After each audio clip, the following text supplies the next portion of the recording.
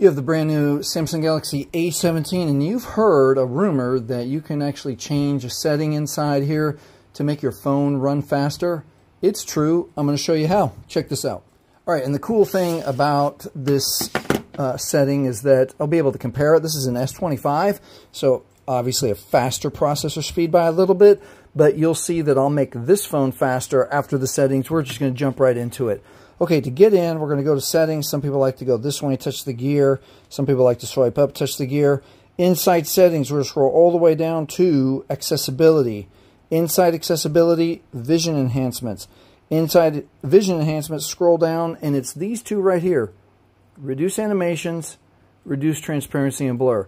And what's funny is that the Samsung note is prevent some screen effects useful if you're sensitive to animation or screen movement. No, it should say to speed up your phone. Anyway, the thing to remember is that if you make these changes and you don't like how your phone runs, is too quick, or you like the animations, jump back in here and you just toggle them the other way. All right, but for now, for this video, we're going this way. Come on. This way, this way. Now watch this. Okay, the first inkling of what happens is just watch this blink off when I exit the settings. All right, now I'm just going to do a couple things. And you tell me if your own eyes see that A17 is faster than the flagship A20 S25. Here we go. One more time, close dialer, open dialer, close dialer. You see the A17 blink on, blink off with no animations. And the S25 animates, animates. Let's do another one. Camera, camera, camera, camera. Let's do a very easy one. Settings, settings. Now, inside settings, let's go to vision enhancements here too. Uh, accessibility, accessibility, accessibility, vision enhancements.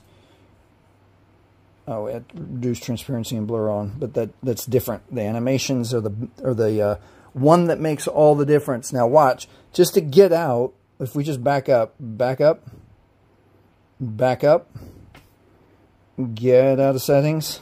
See that every single time you touch the screen, there is an animation slower.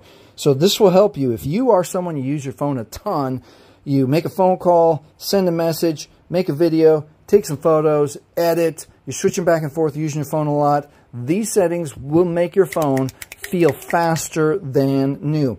If you end up doing it and you like how your phone runs, write faster in the comments to let everybody know that your phone actually runs faster. Other than that, if this has helped you, please like, please subscribe. Thanks for watching.